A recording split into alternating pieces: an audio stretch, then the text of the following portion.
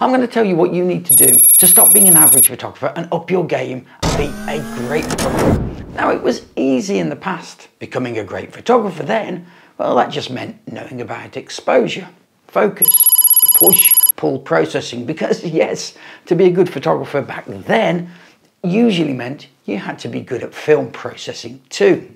But today it's all different. The camera focuses for you. It works out the exposure for you. They even track moving subjects. They can distinguish between landscapes, people, and even animals. So what's left for the photographer to do to earn the right to be a great photographer?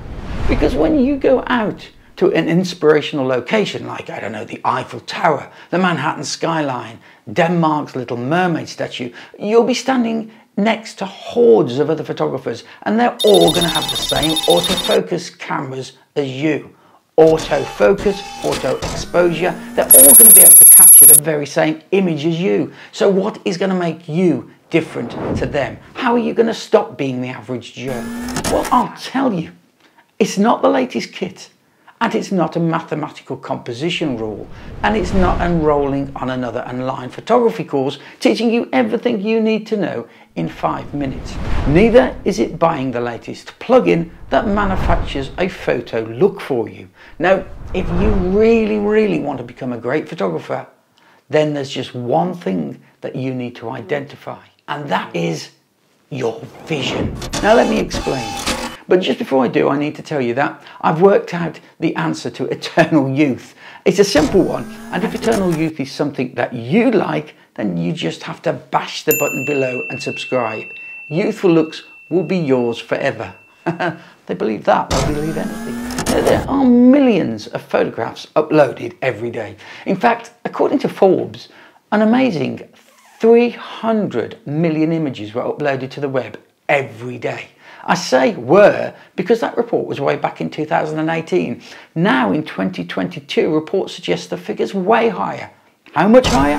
Well, hold on to your hat because current estimates of photos taken around the globe every day are 54,000 every second. That's 3.3 million a minute, 196 million an hour, 4.7 billion a day, 32 billion a week, 143 billion per month, and wait for it, 1.72 trillion photos taken every year. That's a lot of data. So how is your image going to stand out amongst that lot? Vision. That's how.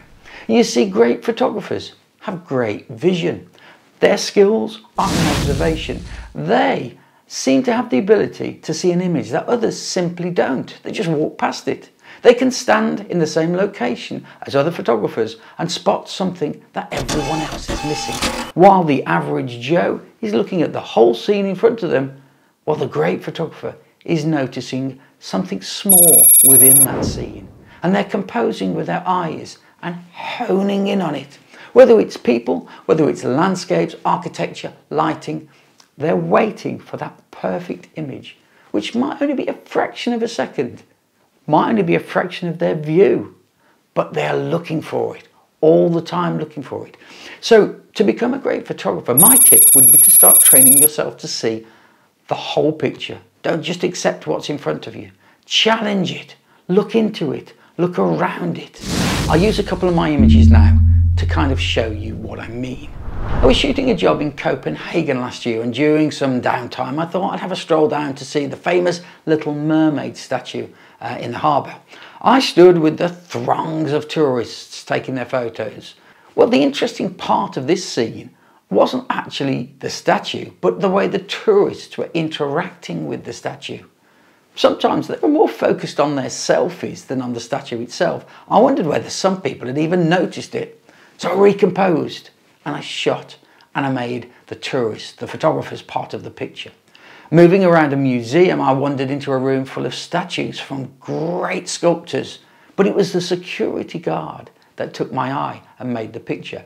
Next I'm in Falmouth in Cornwall. It's a pretty harbour scene, a lovely day, everybody taking photos in the sunshine of the blue sky and the boats bobbing about in the harbour.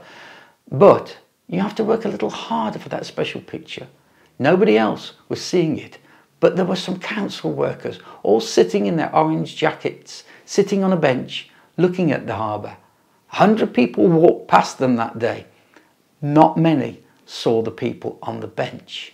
And that, for me, was the picture. On a chairlift in the Austrian Alps, beautiful scenery everywhere, everybody taking panoramic shots of the mountains. But look, look at the detail. My eye suddenly is drawn to one slope because there's heavy backlighting from a morning sun and the shadows created by powder in the turns was fascinating. I switched to full zoom, reframed and bang, everybody else saw it, but not everybody else noticed it. You see what I mean? So if like me you strive every day to become a better photographer, well standing in front of things is not enough. Just getting there, it's not enough. You've got to learn to look and you've got to stop relying on technology and create a great picture in here, in your head, with your eyes. It's not difficult, but it will take a whole new mindset. You're going to have to retrain your vision. If you want to see what I mean, I was out for a lovely walk recently, and during the walk, I just noticed something that would make a great photo. And so I couldn't resist. I honed in on it and got just the picture I was after. And if you want to see me shoot that picture, then click on this link here.